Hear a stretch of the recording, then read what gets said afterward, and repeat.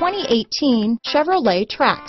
The Trax is tiny on the outside, but remarkably spacious within. It comes with a clean and modern interior. This vehicle has less than 100 miles. Here are some of this vehicle's great options.